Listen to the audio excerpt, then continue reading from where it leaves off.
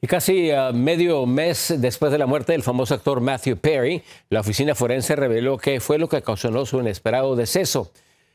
¿Qué es la ketamina y cómo influyó en su fallecimiento? Anthony Belches de Miami nos explica. Los resultados de la autopsia realizada al actor Matthew Perry han concluido que la estrella de Friends murió el 28 de octubre por los efectos de la ketamina, una potente droga que a veces se utiliza como anestesia para animales y personas. Es un anestésico que en los últimos 15 años se ha utilizado para tratar desórdenes cuando no funcionaba con otras medicaciones.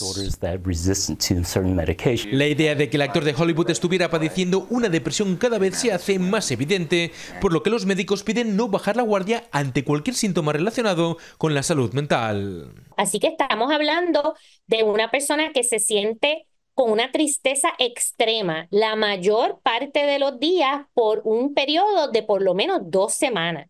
Los médicos advierten que el consumo de la ketamina debe estar perfectamente controlado por un especialista porque puede causar delirio, subida de presión o problemas respiratorios. Por eso insisten en siempre contar con la supervisión médica y no tomar ketamina por cuenta propia sin antes acudir a un experto. Estoy como caído o caída, algo me pasa, es ahí donde tenemos que eh, prestar atención inmediatamente llamar al médico clínico. Además, la oficina del forense del condado de Los Ángeles también ha confirmado que el actor de 54 años se ahogó en el jacuzzi de su casa, pero que eso fue un factor secundario.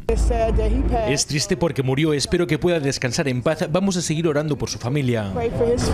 La FDA en octubre emitió una alerta advirtiendo sobre los peligros de tratar trastornos psiquiátricos con algunas versiones compuestas de la ketamina. Desde Miami, Florida, Anthony Belchi, Noticias de Estrella TV.